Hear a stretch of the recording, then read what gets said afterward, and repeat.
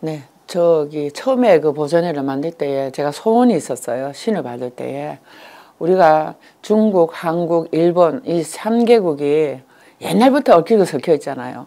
그래서 어, 그 군인들이 그 나라에 가서 전쟁을 하면서 죽고 싶어 죽은 게 아니잖아요. 나라에서 가라 해서 갔고 싸우라 해서 싸웠고 죽었잖아요. 그러면은 중국 사람도 우리나라에 와서 억울한 죽음을 했고 일본 사람도 우리나라에 와서 억울한 좀 나라를 자기 나라를 위해서 그러다 보니까 그 원한들이 엉켜서 이 세 이 삼나라가 하친이 안 되잖아요.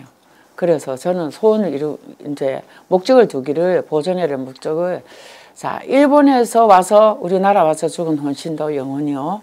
우리가 일본 가서 끌려가서 죽었던 전쟁에 죽었던 그 영혼 그 다음에 우리가 중국에 침략을 받았던 우리가 방어하느라고 죽였도 죽일 수도 우리도 죽였잖아요 그죠 그래서 그 전쟁 중에 가신 분들을 그 상계구를 통해서 가서 원혼을 풀어주기 위해서 그 단체를 만든 거예요.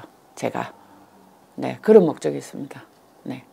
보존 연구에 오실 때는, 어, 그, 뭐야, 우리가 사명이라는 게 있잖아요. 제자가 될 때에 보존 연구회를 들어오면은 짝도의 어원, 그러니까 처음부터 짝도는 어느 시대에 누가 탔으며 이런 걸 자꾸만 발굴을 해야 돼요.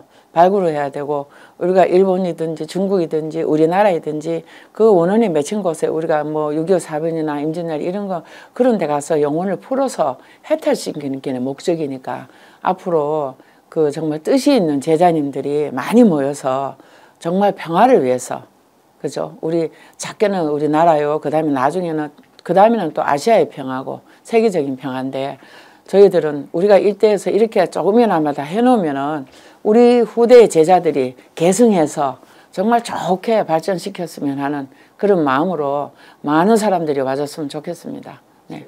이 안동은 낙동강을 끼고 있잖아요. 그래서 그 낙동강이라는 거 우리나라에서도 가장 큰 그 강줄기잖아요. 그래서 우리 낙동강 그 줄기에 전기를 받은 우리 안동의 제자들도 잘 돼야 되겠지만은 우리 전국에 우리 제자님들이 정말 자부심을 가지고 정말 더 찾아내고 발굴하고 공부를 해서 우리 민속 문화에 정말 꽃을 피우고 싶습니다. 정말로.